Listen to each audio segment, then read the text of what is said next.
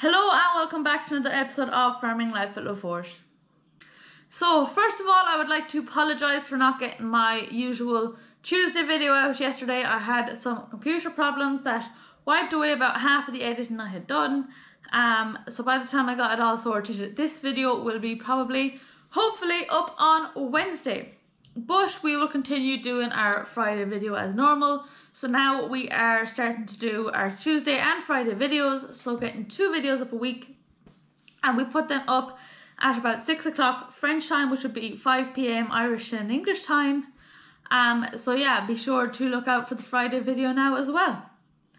As for today's episode, first up I am going to be updating you on my garden, bring you around, show you what has grown, what hasn't grown and anything else that I have done so far. Then dad is going around spraying around the fences, so spraying down to keep down the weeds, um, just so that there's a lot less work during the summer while the cattle are out, the fence can have good power in it. So I'll show you um, how he sprays it, what he sprays it with, and a bit of that. Then myself and Mam are bringing up the kids. So if you remember before, the kid goats um, that we bought, they're now weaned and they're going up to the shed that you saw Dad cleaning out the other day. So I hope you guys enjoyed today's video and don't forget to like and subscribe down below.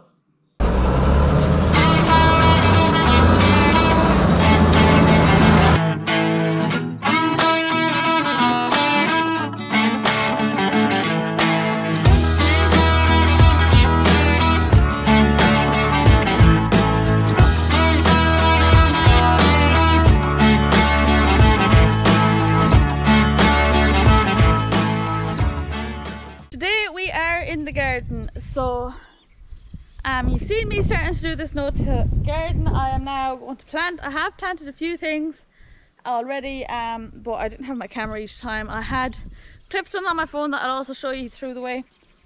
But basically I've taken the plastic off my gardens. Now a lot of you might ask why I don't keep the plastic on because it keeps down weeds. I don't like plastic for many many reasons. Um, one it doesn't look good um, I also want a garden that looks nice. The main reason is um, pests. So while the plastic was on it the few times I've taken it off the first time there was mice running all around it. So I finally put down rat poison got rid of them. Second time when I took it off just there the other day there's ant hills everywhere and slugs all around. The plastic just draws every insect every animal that will be drawn to it. And um, you don't know that they're because they're under the plastic so unless you lift it up and see that's that's the main reason for me. Um, the second thing is water. So the main reason is um, the rodents then it's also the look of it but it's also water. I don't want to have to be coming over here every day to water because I'm not over here every day yet.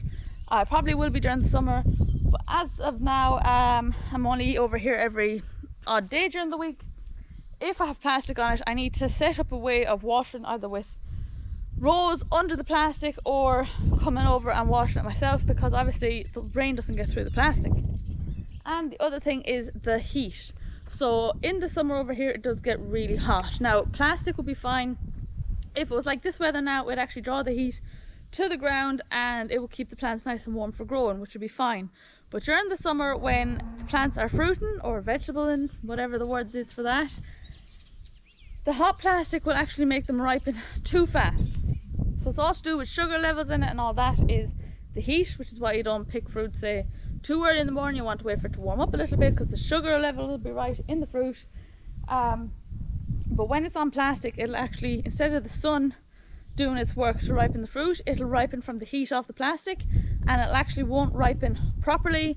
The outside will ripe, the inside won't be as ripe, so if you picked a strawberry for example it wouldn't be as sweet as if the sun had ripened it um, because it's only the outside that's ripened and the inside hasn't got the right sugar levels and all that sort of stuff and um, then it'll start to rot faster as well so there are all the reasons I don't like plastic obviously it is probably the best way to keep away weeds but I would prefer to have to manage the weeds rather than um, watering every day, heat and pests. So that's just my choice. I know a lot of people like plastic. So I'm going to see how this works. I have still got the plastic if the weeds are getting just way too much. Like I'll show you in a minute, one patch is. Um, if the weeds are just getting too much, then I can always put the plastic back on after and cut the slits. But for now, I'm going to try it without and see um, how well I manage. I might F up, but oh well. So some plants I planted have grown, some I've bought. So my celery didn't grow, so I have bought 12 celery. If it comes up later, that's fine, but I don't think it will. Um, also cabbages, because the cabbage seed I had was from maybe last year, the year before, I wasn't sure. My kale is growing, but Mam bought me some anyways, and for some reason there's cabbage plant in it, so now that's in the wrong spot. As for my plants, the one thing, and only one thing, that grew very, very well was the courgettes. Now I already have um, three of these planted, and I have one more that I didn't plan on planting, but I actually have enough room for. So my courgette plants. Courgettes do need sunlight to grow. Here we'll get sun now. There's a bit of shade, so it's partial sun. Here I'm planting um, melons and they obviously need full sun, so that's the right spot for them. As for my tubs, now I did a bit of filming on this, so I'll either show it to you before or after this clip. These are my strawberry plants in one big tub, and here I have started sowing. So I have two lines of rocket, one line of spinach, and now I'm going to plant the lettuce. The lettuce I was going to buy in the shop anyways because it's super cheap and pointless trying to grow from seed. It's costs the same thing. So this is going to be for all salads and stuff. Now the garden, the garden has overgrown. So basically since that video where I was complaining to you guys about not having any rain, um, we haven't had a day without rain since. So the last time that um, we had a dry day, basically the garden didn't even need to be cut. And now we have the first dry day since really and it is overgrown. So I'm going to go with the lawnmower and at least get the most of around my garden done. Dad can probably come in and mow the rest of that. Um, I'll see how much I get done today. But then, because this is overgrown, I haven't done the edges of the garden nicely. Now I'll show you what else I've planted. So this is the big patch that I was going to do for potatoes and basically anything, um, bulbs, carrots, all that stuff. I have planted my very first potatoes and they're all coming up there. I've planted them quite close together. But yeah, so this side is all, I've been keeping it weeded, keeping it watered. It's been raining so I didn't need to water it. But this side is all weeds. So I haven't planted anything, so I haven't been taking care of it as of yet. But I'm going to plant. So there I have um, one, two, three, four, five, six. So there I have seven rows of um, potatoes. Now I'm going to plant another two, maybe three rows here so they will be to harvest uh, a month later. Even though it's the same ver variety we'll see how that ends up. But I have the space so I'm going to try plant them a bit later just to delay because we won't eat them all at once. And then I will plant my onions. It's a bit late for onions but mom has planted hers already so again mine will be a few weeks later than that. And then I'm going to try carrots and stuff. Now the other problem I have is rabbits so I'm going to try a few things to keep away the rabbits and we'll see how that goes. So the grass is cut for at least the bit around um, around my garden. All the rest over there is just way too long to cut um, with that. So dad will have to come in with the mower but he can get around there easily. I don't want him going near the edge of the garden. So other than a bit of tidying up, the garden is practically ready. Um, I'm going to start planting now.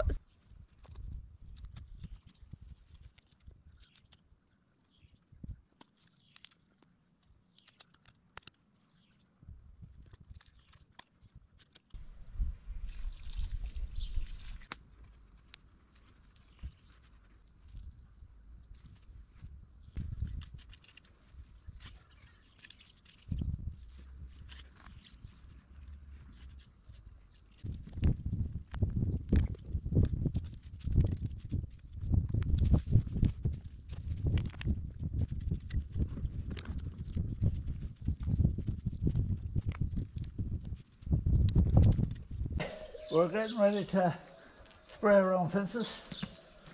This is a little 600 litre Hardy that was on the farm when we came. Uh, nothing wrong with it. So we kept it just for doing around the fences. So as well as that, uh, we have a lance here for doing some corners in case we're not able to get. So we made this yoke then. Piped up along, I can turn it on off the tractor. It's uh, just two jets off an old sprayer that was there. We have a filter and all here and if, it, if you hit something it'll bend. So when I went into the field I let it out here you go. So it can get right into the corners so I never have to get down. Uh, put this on it and to let that down close to the ground so if there's there a bit of a breeze or anything, uh, you don't see these big brown patches in the field. So that uh, I put that on it, a lump of steel there to keep it heavy. And uh, I find that works really well. Now we work two types of uh, spray. We put uh, Roundup and Garlon Star. That kills briars and all the tougher things. It doesn't kill grass. So we mix up the two, 600 litres does the whole farm. Takes me about a day and a half to do the whole lot. So I'm just setting it up here now. I was just cleaning it out and uh, I'll be heading off for the day. So we had that done a while. I was going to put it on a ram, but I just did that quick the first year and I never had to change it. It's okay. It's on the quick release, so it's no bother. you just pull the lever and it falls off. So uh, that's all. It, uh, I'll show you a bit of it working in a few minutes. Uh, we're just filling the sprayer there now, and uh, that was all. So um, it's just a normal hose back along, and uh, the sprayer was no good for anything else. The small little sprayers now, no one wants them, and uh, it just does that. Plus, uh,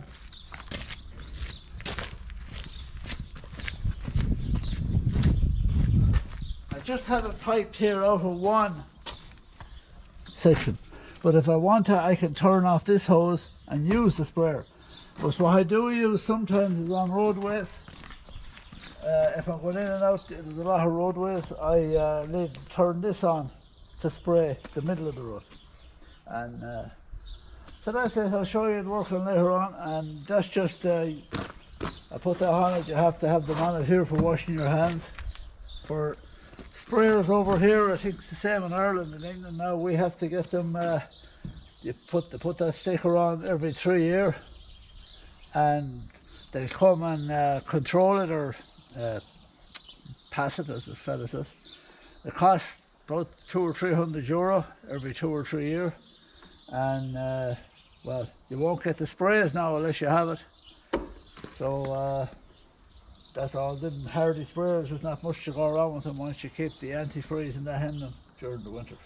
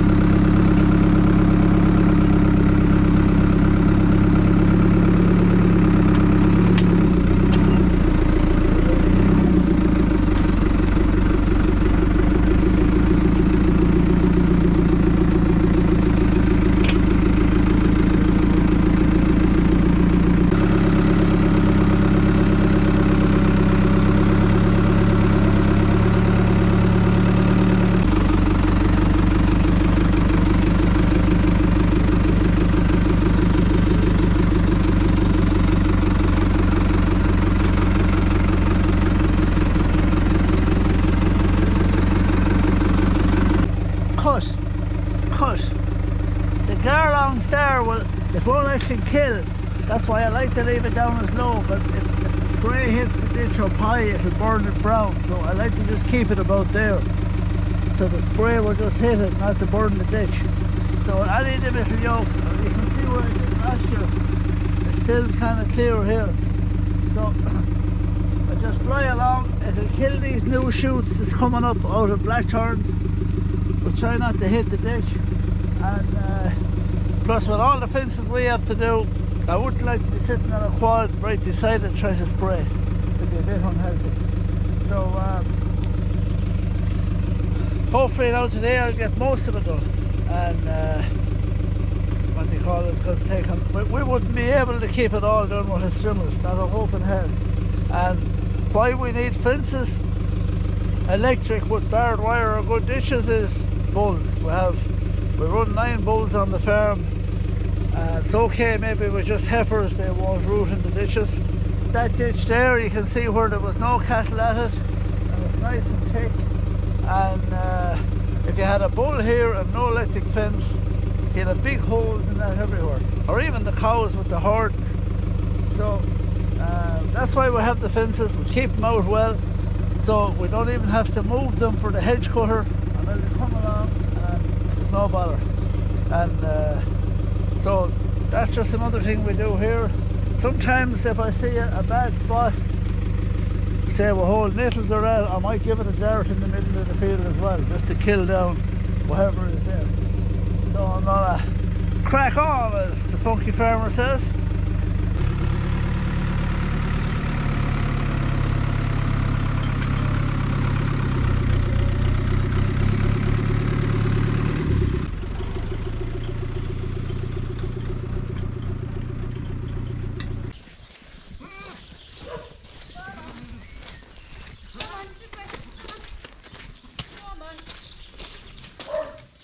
Come on.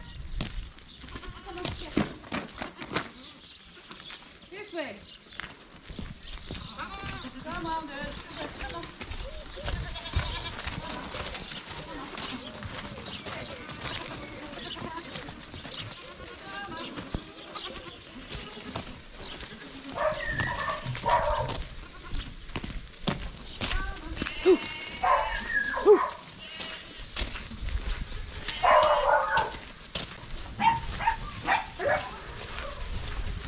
We could have an army of 11 dogs after them.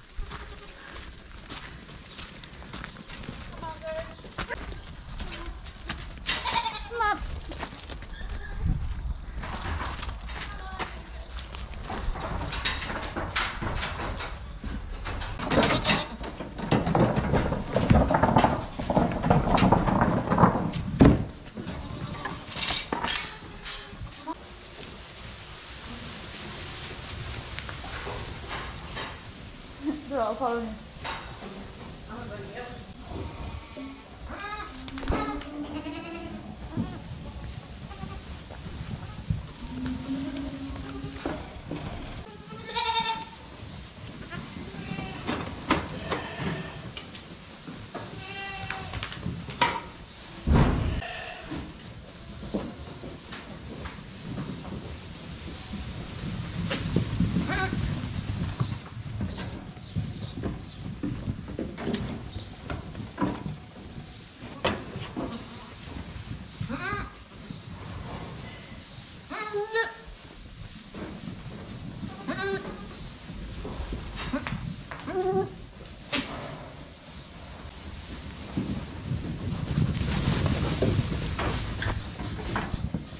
So these are that you saw a while back.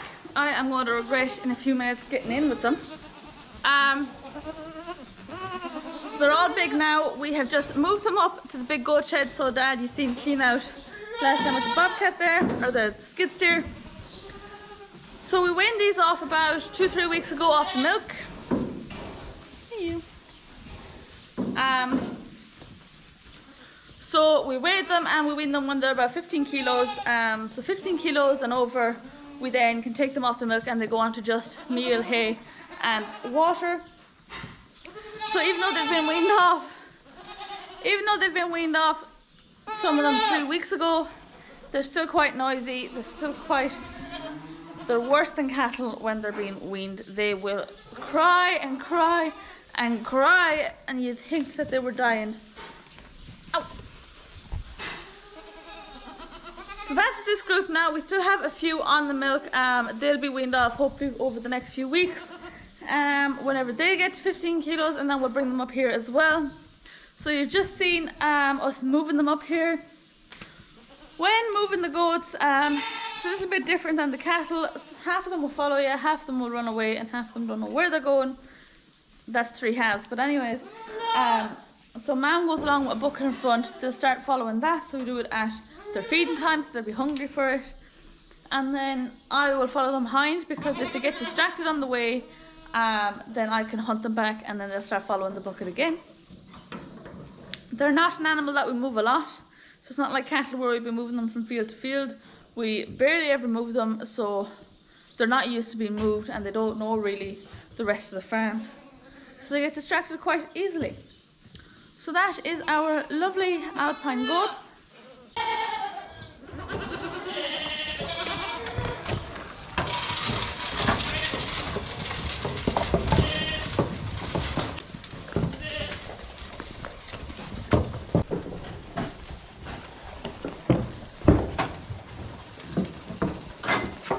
That's that for this week's episode. Thanks for watching and I'll see you in the next one.